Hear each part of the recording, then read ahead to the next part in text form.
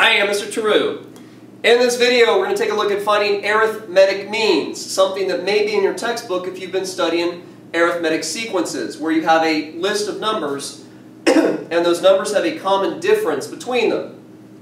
So, what an arithmetic mean is, it's the term or terms between any two non-consecutive terms of an arithmetic sequence. So I've got a pretty simple example here, and then we'll work through a couple of real problems where we have 2, 5, 8, a couple of blanks. These are going to be our arithmetic means, and then 17. So we can see here we go from 2 to 5, that's an addition of 3. From 5 to 8, that's an addition of 3. So we have a common difference of 3. An a sub 1 value, we've listed the first term off here as 2.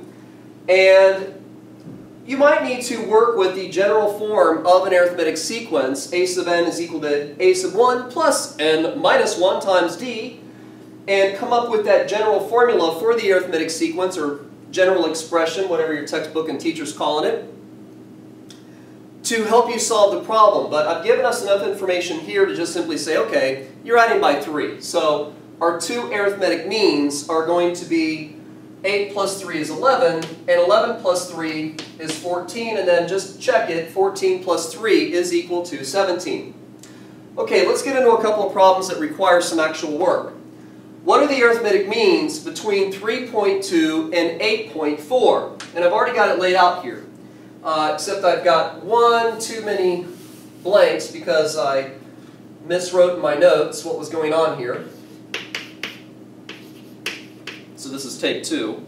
So we have a sub 1 is 3.2. We have three arithmetic means. And then finally our last term that we're concerned about, the first term after the missing arithmetic means of 8.4.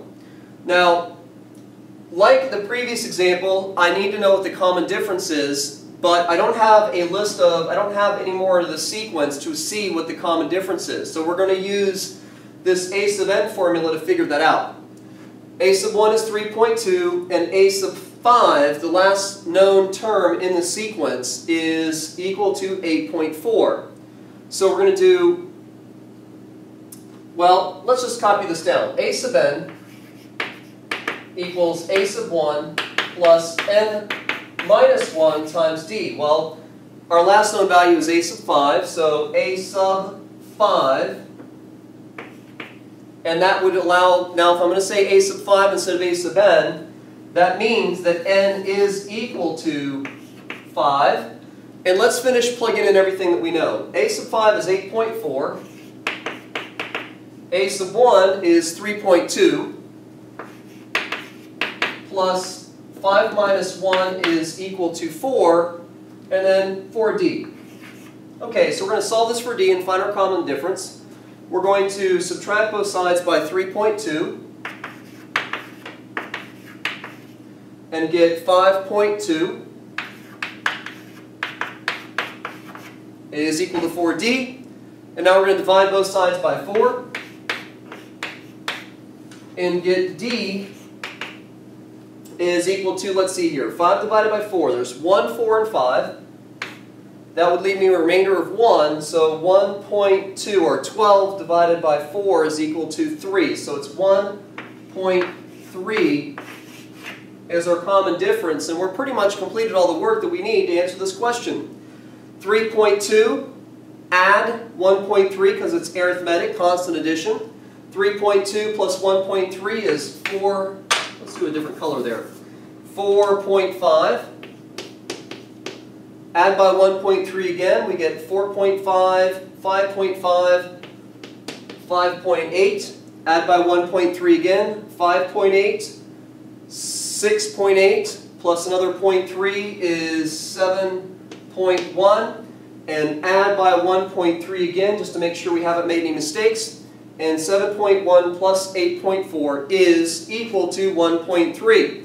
That's the first example. The next example, I'm going to kind of beat you up with uh, a little bit of fractions and review of how to work with some radicals because um, the only thing that makes these questions more difficult is, you know, introducing some fractions or radicals or something that just basically makes the arithmetic more difficult itself. So, let's see that second example. Bye!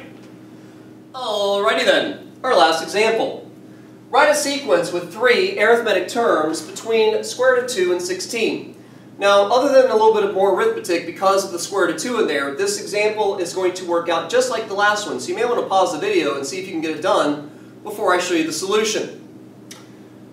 Now, I'm just going to list these out, uh, you know, and leave the blanks in for this in the sequence. And we've got square root of 2, we've got 3 arithmetic means, and the last term is 16.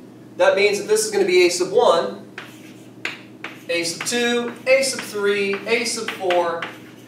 Okay, now we have a sub 5.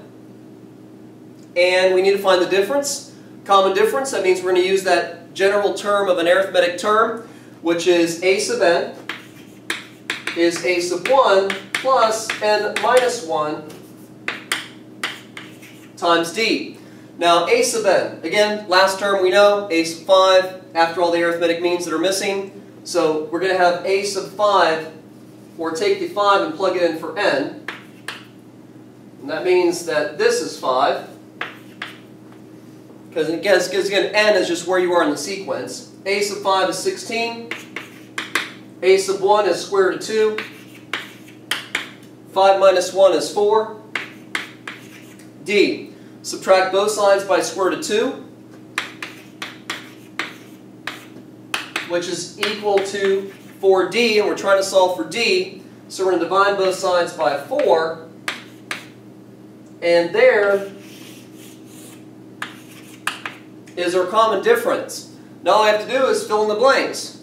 So, a sub 2 is equal to a sub 1, which is square root of 2, over 1, plus our common difference of 16 minus square root of 2 over 4.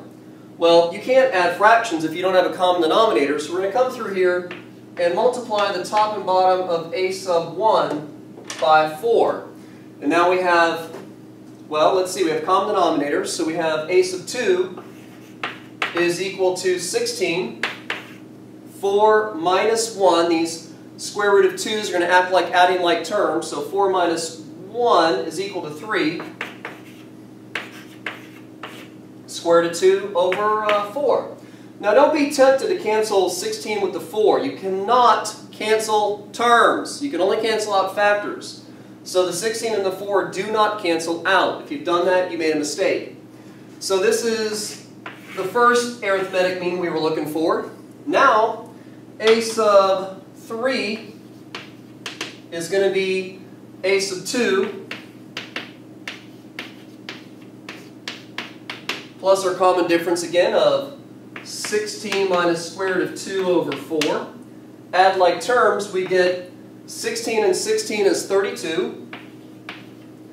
3 minus 1 is 2, so plus 2 square root of 2 over 4. Now, these two terms are both even, so I could factor a 2 out and then cancel that factor of 2 with the denominator. But I have to continually keep adding by 16 minus square, uh, minus square root of 2 over 4, so I need that common denominator. I'm not going to reduce it down. That's a sub 3, and I just have to do this one more time.